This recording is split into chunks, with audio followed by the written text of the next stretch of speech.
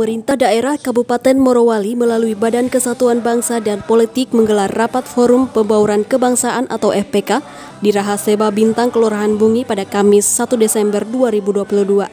Rapat diikuti oleh perwakilan dari kerukunan keluarga berbagai suku yang berada di Kabupaten Morowali.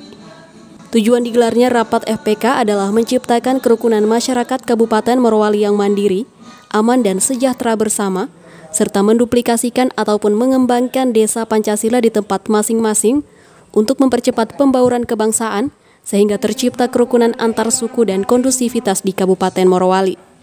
Rapat dibuka langsung oleh Wakil Bupati Morowali, turut hadir di antaranya Ketua Dewan Adat Tobungku, unsur Forkopimda Morowali, anggota DPRD Morowali, dan Kabankes Bangpol Morowali. Wabub Haji Najabudin dalam sambutannya menekankan bahwa pembangunan bidang infrastruktur maupun sumber daya manusia suatu daerah harus berjalan seimbang.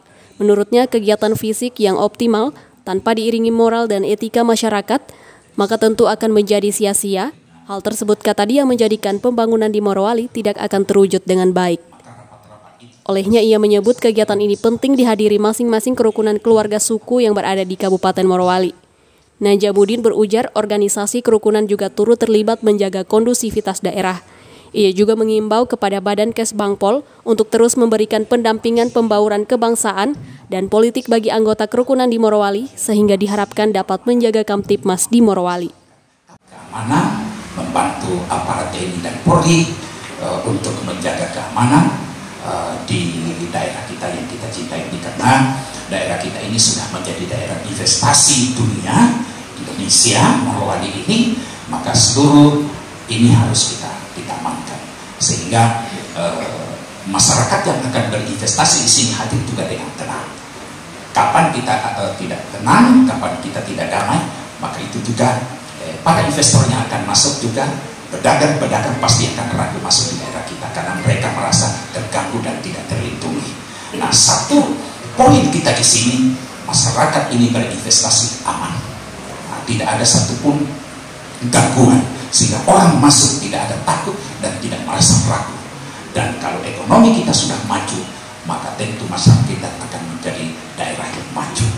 Dengan ucapan Bismillahirrahmanirrahim pada uh, uh, rapat forum pembauran kebangsaan di Kabupaten Morowali 1 Desember 2022 kita buka dengan resmi Sementara itu, Kabankes Bangpol Bambang Surojo menyebut rapat ini merupakan agenda rutin yang dilakukan setiap tahun, namun sempat tertunda akibat pandemi COVID-19. Ia mengungkap, FPK adalah ruang setara bagi seluruh pihak untuk melihat kondisi politik, sosial, dan konflik di daerah. Ia berharap melalui FPK dapat menyatukan persepsi dan menjadi wadah silaturahmi bagi seluruh kerukunan di Kabupaten Morowali dalam menjaga stabilitas daerah.